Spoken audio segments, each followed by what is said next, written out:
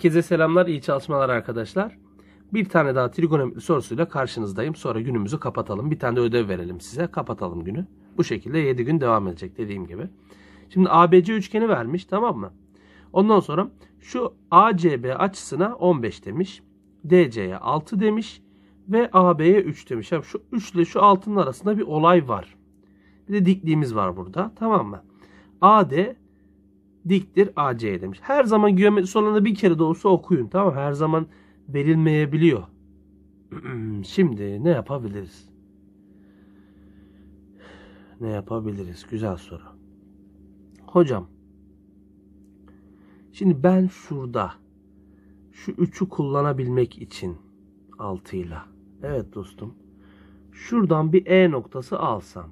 E Ondan sonra buradan bu AE'yi birleştirsem ve desem ki bu AE şurayı iki eş parçaya bölsün. Yani 3 ve 3 yapsın. Hmm. Tamam olabilir. E şimdi hocam bu dikten geldi ya. 3 3'e böldü. O zaman bu da 3 olmaz mı? Olur. Tamam hani eğer böyle bir şey kabul ediyorsan bu da 3 olur. Tamam. Hatta şunların farklı rengini farklı yapalım. 3 3 ve 3 oldu mu? Tamam. O zaman burası 3 ise şuranın ikiz kenarlığından bak. 3 3.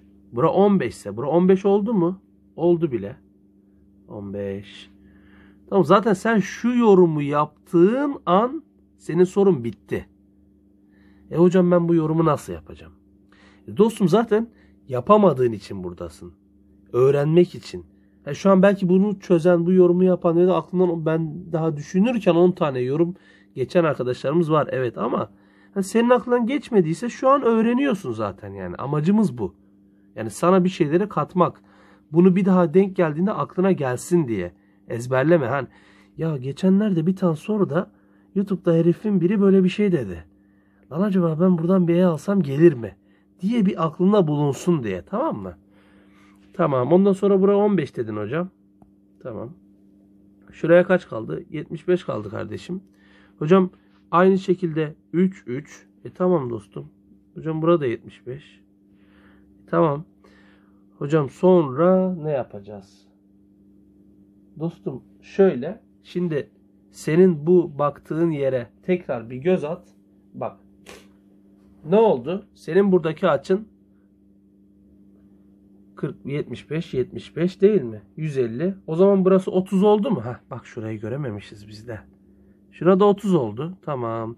Bak bu sefer bir tane daha ikiz kenarlık geldi. 3, 3 değil mi? O zaman burası da 30 oldu. Bak açıyı nereden nereye taşıttırdı. E tamam. Zaten bura 30 ise 2 diş, bu 2 bir diş 2 içten bura 45 mi oldu? O zaman tan 45. Yani 45 derecenin cevabıdır. O da zaten 1 yapıyor. Cevabım 1 olur. Böyle güzel bir soruydu. Şu yorumu sana yaptırmak ve şu sürekli sürekli sürekli sürekli ikiz kenara taşıtırarak 45'e gelmek. Bunu unutma. Öyle muazzam yapılmayacak bir soru da değil zaten. Şimdi bu soruyu sana ödev olarak bırakmak istiyorum. Yarın gece trigonometri çözümüne kadar bir göz at.